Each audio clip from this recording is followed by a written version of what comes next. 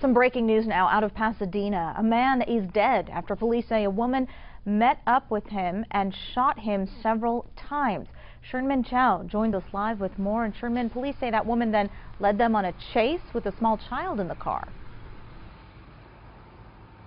Yeah, boy, it is quite a story. We are actually across the street from SBM Life Sciences. This is where it all happened today, right at about noon. The victim, a man in his 30s, who was transported uh, to a nearby hospital where he died. We do have some Air 11 video of the scene from early this afternoon, so let's take a look at that.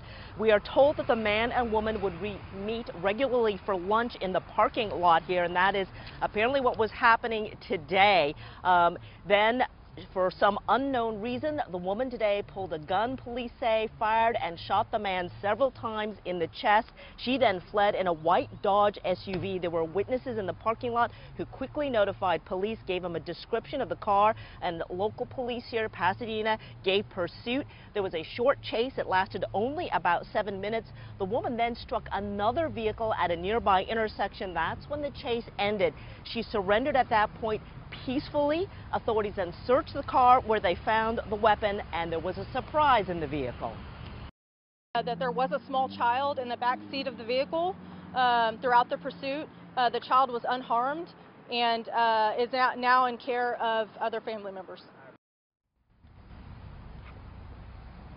So the big question, of course, is what triggered all of this. Police right now don't have a motive. They also do not have a clear understanding about the relationship between the two men or the child involved.